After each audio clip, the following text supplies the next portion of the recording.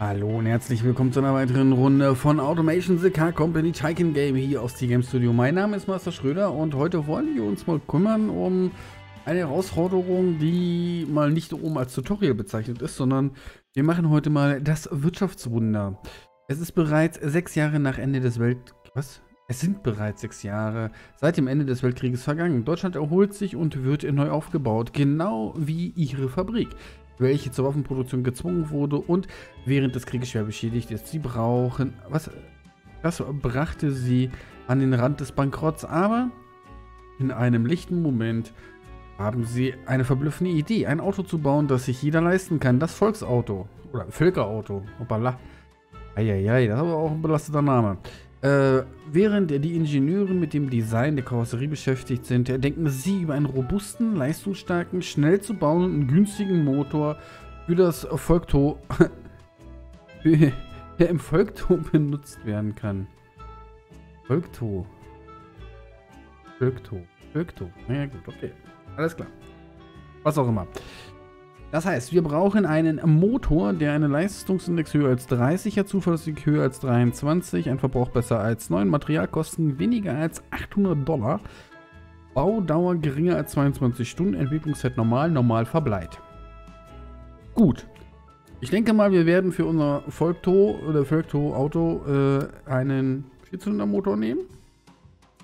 Reihe Vierzylinder aus Gusseisen natürlich. Äh, das Ganze wird ein... Ja, wie machen wir es? Machen wir ruhig fast gleichmäßig. Wir machen mal einen 1,0 Liter Motor. Was kleines, Leistungsindex größer als 30 und der Preis soll ja gering sein. Deswegen machen wir mal kleinen. So, machen wir 70er Bohrung. Und ein 70er Hub. Ist das recht gleichmäßig. Und dann kommen wir bei 1076, 78. Ja, das ist, das ist okay. Das können wir mal machen. Ähm, das Ganze ähm, oh, direkt an die OHC. Oben liegen Nockenwelle, zwei Ventile, Gusseisen. Nein. So, das kann man ja erstmal so schon mal festhalten. So. Was ist das hier? 30,2. Zeigt mal Grund und Rahmen. Aha. Okay. So, äh, Kurbelbälle gegossen, Pleuel gegossen, Kolben gegossen. Äh, Varianten gibt es nicht. Qualität lassen wir erstmal da, wo sie ist. Die Verdichtung machen wir erstmal ein bisschen runter. Auf 8,5 zu 1. Das Nockenwellenprofil lassen wir auch erstmal dort. Wir optimieren später daran. Das Ganze wird natürlich ein Saugmotor. Dann wird ein Vergaser, ein Einfachvergaser, ein Vergaser, Standard. Äh, was hat? Normal verbleibt sollte man nehmen, ne? So, das lassen wir auch erstmal alles hier. Dann machen wir einen einfachen gusseigenen Krümmer, nichts. Äh, einen Vorschalldämpfer machen wir Absorption und Endschalldämpfer auch. So, und dann sehen wir, da haben wir ordentlich klopfenden Motor. Äh, wir haben kaum Leistung dadurch. Wir haben eine ganz schlechte Kraftstoffeffizienz. Ähm, sind aber mit dem Preis recht niedrig und hier, also hier unten sind wir schon mal gut. Gut, äh, ja, den Test will natürlich nicht bestehen. Gut, dann müssen wir jetzt mal gucken, wie wir das hinkriegen, dass wir das Klopfen aus dem Motor raus bekommen würden. Wollen wir hier vorne eigentlich erstmal gar nicht anfangen. Ja, das ist alles, das geht alles, wunderbar. Dazu kann man natürlich jetzt das Nockenwellenprofil ein bisschen verschieben in Richtung sportlicher. Ah. Uiuiui. Ui, ui. Da würde man das Klopfen noch rauskriegen. Ja, ja, na gut, aber das wollen wir ja gar nicht. Dann müssen wir mal gucken. Dann könnten wir noch... Nee. Kraftstoffgemisch können wir natürlich noch wesentlich fetter gestalten. Ne? Das ist klar. Okay. Gut, dann sind wir doch schon mal... Was ist denn jetzt los?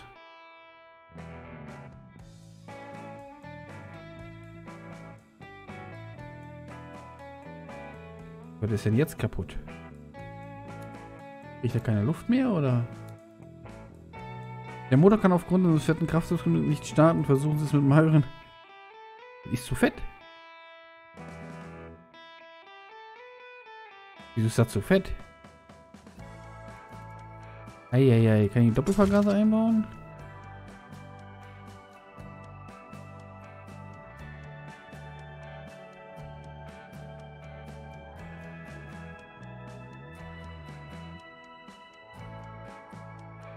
Und zum Zeitpunkt noch ein bisschen verschieben. Ja, zu spät würde ich ihn nicht machen.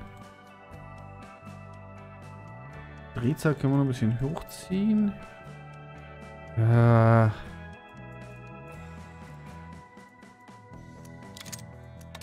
Das bringt auch nichts. Ah, dann müssen wir die Verdichtung noch ein bisschen runternehmen, würde ich sagen.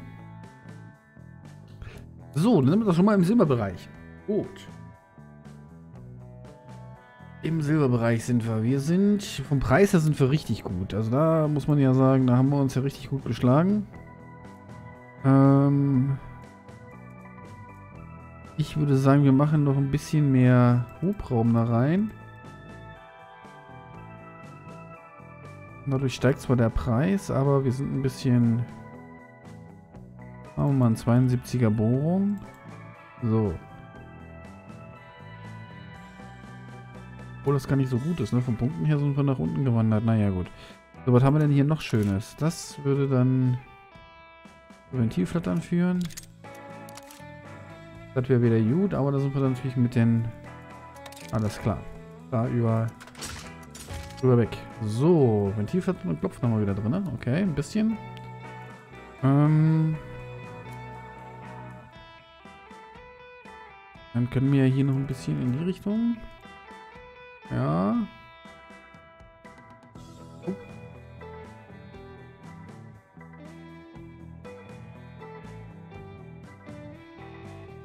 Tieflattern raus, das Klopfen nochmal auch raus. Aber wir haben keine Punktzahl mehr, weil unsere Kraftstoffeffizienz... Wieso ist die denn so schlecht jetzt? Echt?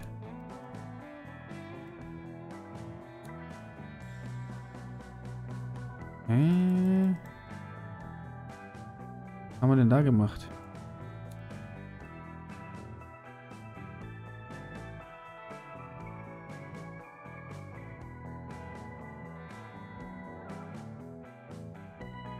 Aha, okay.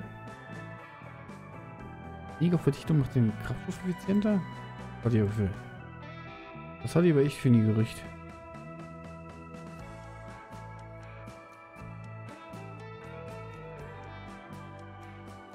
Oh, okay. Was ist, äh, hätte ich jetzt aber nicht gedacht, dass das unser, das hier zum Ventilflattern haben und der Abgaskrümmer ist noch nicht so ganz. Da können wir noch ein paar Punkte holen. Ja, dann war zu teuer, ne? So, das geht noch. Dann kann man hier ein bisschen den Auswurf noch vergrößern.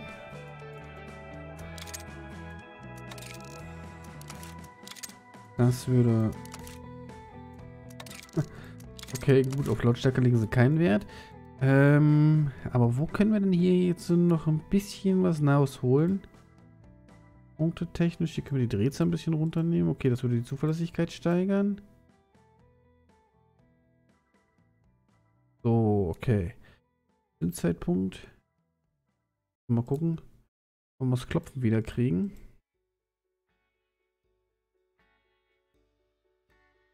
Dann kriegen wir das Klopfen wieder. So. Ah, da, um, 30 Punkte. Die hätte ich aber ganz gerne wirklich noch. Da müssen wir mal gucken. Wir haben einen kompakten Motor. Kann ich da, am, wenn ich am Hub drehe, da kann ich am Hub noch drehen, okay. Das bringt uns auf jeden Fall ein paar Punkte. Jetzt sind wir schon bei 1200 Liter.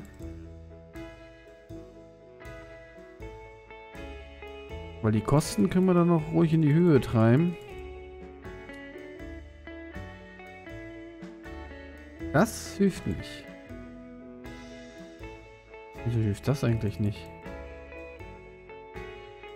Okay. Längere Hub ist okay.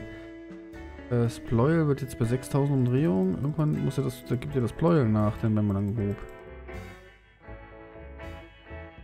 Oh, langhubig, ne? Jetzt werden wir schlechter. 81, 82, 82. So, okay, der Leistungsindex ist ganz schön gestiegen. Okay, das kriegen wir hin. Aha, aha, aha. Jetzt ein V60. 18er. 43er, ja, okay. Gut, das lässt sich machen. So, 5800 Umdrehungen mehr haben wir ja auch nicht zugelassen. Man könnte jetzt natürlich... Upsala. Das hält das Ploy erstmal gar nicht durch, okay. Gut, ähm, kann ich jetzt die vielleicht bei der Verdichtung... Da komme ich absolut nicht weiter, ne? Nochmal ein Profil. Da ist da auch Schluss, okay. Äh, das haben wir noch nicht. Jetzt könnte man theoretisch mal hier gucken. Das bringt uns ein paar Punkte. Haben wir ein paar Punkte gebraucht. Wie weit müssen wir denn noch? Bis? 1003 Punkte noch.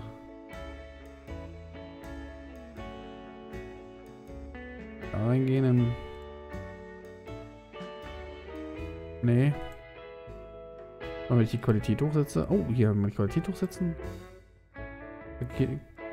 Haben wir sogar hier einen Punkt gewonnen. Warte mal, das können wir mal gucken, ob wir das woanders auch kriegen. Äh. Nee. Ah, wir müssen noch einen Punkt irgendwo gewinnen. Nee, nee. Das wird alles dann zu teuer hier, ne? Ein Ausruf, qualitativ? Nee, wird noch zu teuer, okay. Deflektion, Absorption, nichts. Das hilft nichts, nichts. Nee. Schon Dönner hat ein paar Punkte gebracht. Äh, ja, gut, okay. Da haben wir zumindest auf Gold gekriegt. Wir hören uns mal den Motor an. Haben wir denn überhaupt? Wie viel Leistung haben wir denn? Naja, hier 50 kW ist doch okay. 100 Newtonmeter knapp. Hm. Das ist interessant, wie man das, also welche äh, Herangehensweise man da vielleicht eventuell mal noch wählen könnte. Der Motor an sich sieht ja erstmal ganz niedlich aus. Testen wir das Ganze mal. Hier oben ist es gar nicht abgedeckt. Voilà. Ne, das ist gar nicht abgedeckt, okay. So, dann gucken wir uns doch mal. So sieht der Motor in der... Ah, das sieht doch auch interessant aus. Lass das mal laufen hier so ein bisschen. Dann gucken wir uns das mal an hier. Auch ein schönes Bild, ne? Wenn man das so sieht, wie das da drin funktioniert alles. Also den kann man so erstmal schon mal verkaufen, den Motor anscheinend. Aber wir haben nur Gold. Hm.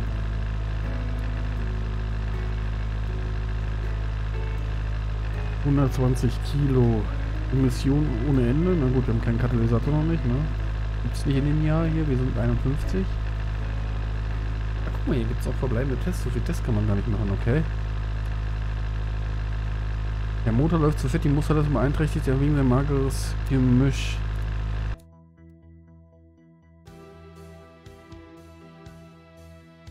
Aber dann kriege ich doch gleich das Klopfen wieder rein, oder? Ja, kriegst du kurz Klopfen rein.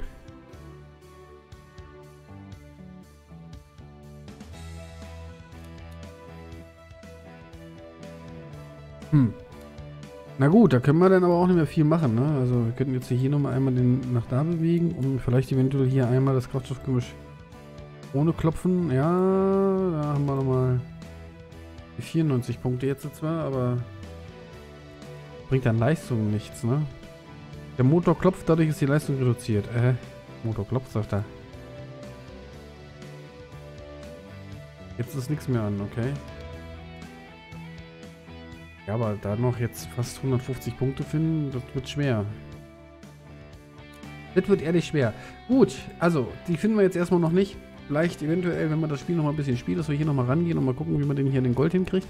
Was man da so machen kann noch. Ähm, wo wir uns vielleicht falsch entschieden haben. Vielleicht haben wir uns auch bei der Größe falsch entschieden vom Motor. Aber ich sag mal, wir sollen jetzt hier keinen 18er Motor sonst irgendwas haben, der dann zwar eine hohe Laufruhe hat, aber dann, naja, doch, der wird dann viel zu teuer, ne? Das ist ja das, dann nachher die Preise hier. Steigt ja durch die Decke. Na gut, wenn es euch gefallen hat, könnt ihr gerne ein Like da lassen und, und ein Abo. Ich würde mich sehr darüber freuen. Wir haben es nur leider in Gold geschafft. Äh, ja. Und wir werden uns mal gucken, was wir denn beim nächsten Mal angehen. Ich denke mal, wir werden wieder durch die Tutorials gehen. Oder vielleicht, ich habe mal reingeguckt, das Szenario. Ich weiß gar nicht, wie das richtig funktioniert. Ähm, Ein irischer Rennmotor. Läuft sie mit Alkohol oder mit Whisky? Hm, wir wissen es nicht. Gut. Wir sehen uns beim nächsten Mal. Bis dann. Tschüss.